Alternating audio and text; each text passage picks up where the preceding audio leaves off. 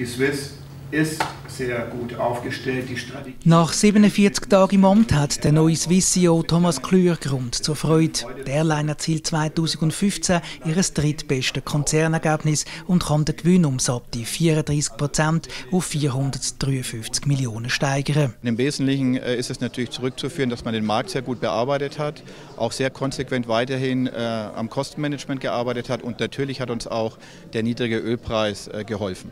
Ein wichtiger Schritt im letzten Jahr ist die Einführung eines neuen Tarifsystems für Europaflüge. Die neuen Preise im Baukastensystem sind allerdings bei vielen Passagieren auf Kritik gestoßen. Die neuen Tarife seien unübersichtlich und bei gleicher Leistung gegenüber dem alten System häufig teurer, so Kritik. Trotzdem will der Swiss CEO am System, das man bei den Billig Airlines abgeschaut hat, festhalten. Es ist auf jeden Fall langfristig äh, der richtige Weg, weil wir wollen unseren Kunden die Wahl geben, äh, welche Dienstleistungen, welche Services sie kaufen wollen. Und äh, von daher, wir müssen sicherlich das Ganze noch besser machen, aber der Weg ist der richtige.